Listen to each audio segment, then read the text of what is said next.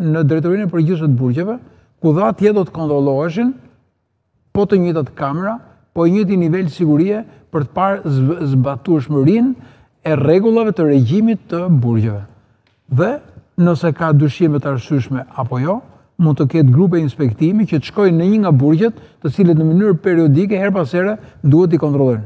Duhet t'i kontrollojnë lidhur me rregulloren dhe me kushtet e tyre. Fakti që brenda burgjeve ka hyrë një armë, brenda burgut kemi pasur një eliminim të një personi, tregon që nuk ka një lloj sigurie. Fakti që brenda burgjeve nuk kanë funksionuar jo vetëm kamerat, por nuk kanë funksionuar dhe po themi detektorët, ata që kontrollojnë për hyrje-daljen e gjërave të cilat i lejon apo jo rregullorja e burgjeve. Dhe kemi një shkarkim, po themi, apo një largim të drejtorit të përgjithshëm burgjeve, kemi një drejtor tjetër, në atë kohë ka qenë një person i komanduar ndaj burgut për të rivendosur situatën, u premtua që do të kishim një kontroll të sistemit të sigurisë nëpër burgje, por fakti që kemi nëse qëndron një komunikim nëpërmjet një interneti. Nëpërmjet Skype-it. Skype-it, tregon dhe, atëherë tregon dhe një, po, herë që nuk funksionon sistemi i bllokimit të valëve, nuk funksionon sistemi i fluturimit të droneve dhe bllokimit droneve, të cilat mund të jenë prap një shqetësim dhe një problem. Kush e ka shkurtimisht, kush kush merret me mbrojtjen e dëshmitar e personave të penduar ndaj drejtësisë? Se është një diskutim që e kam hasur edhe në disa media të tjera, pra është një njësi nga Ministria e Brendshme apo jo.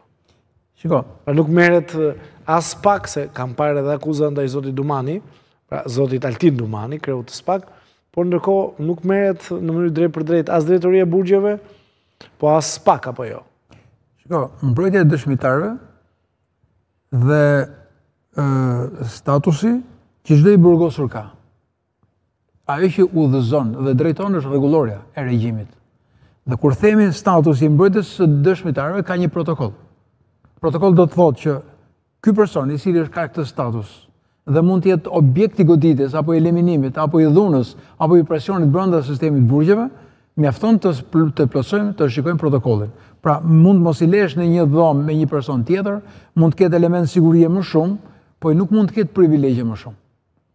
Sepse nëse flasim për privilegje, pastaj gjërat do të ndryshojnë, mos e mbajnë nëpër burgje, po shkoni mbajeni në një ambient tjetër.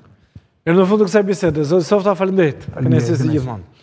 Mirë këto momente, shkoi ora për të shkuar në reklama, qëndroni me ne kthehemi pas pak, do flasim për turizmin dhe për një ngjarje të rëndë që ka ndodhur në